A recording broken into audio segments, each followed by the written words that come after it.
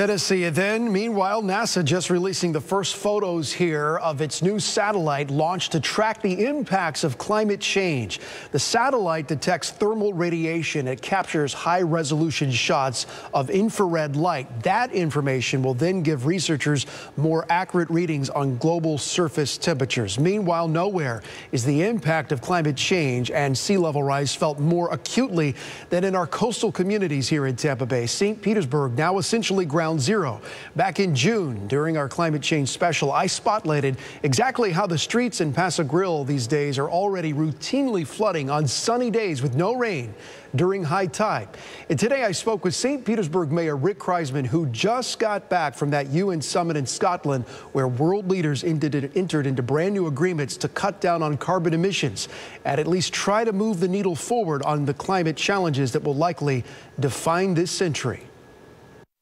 What did you learn uh, in talking to leaders, uh, both on the local level and on the national level from all over the world during this summit? You know, I left the conference uh, optimistic that the actions that the protesters would like to see, that cities around the world would like to see um, taken by our national leaders, that that those that some of those actions are actually going to take place. Yeah, Mayor, the frustration has been with these summits uh, that it is all talk and no action, and that even the agreements themselves are voluntary and they don't have any real teeth, and the commitments are, you know, on a honor basis, and, and there's really no power to uh, get everyone on board to actually hit the marks when it comes to measuring success for reducing, uh, uh, you know, carbon emissions. Give me the nitty gritty details when it comes to real action points that came out of this that can be enforced uh, on some level and can actually lead to progress. Um, one of the announcements that was made at uh, the summit was uh, something called the Cities Race to Zero.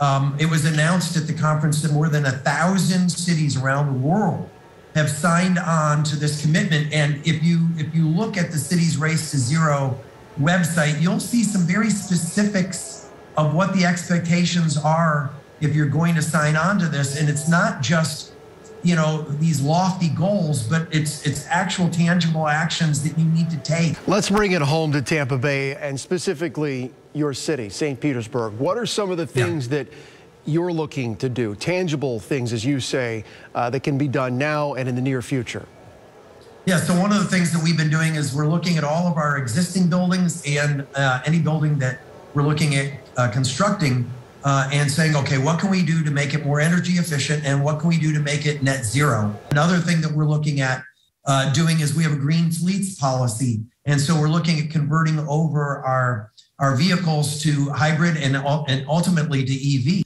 Uh, and then we're looking at uh, some of our zoning and our, and our codes on construction and saying, what can we do uh, to, uh, to encourage the private sector and to, to require the private sector to start building these technologies into their new developments. So, Mayor, I would imagine half of you is uh, is sad uh, about uh, your term coming to an end, and maybe uh, another part of you is uh, looking to take a break. So, after you go off to the Caribbean for a few days, uh, what's your next gig? Where are we going to see you again?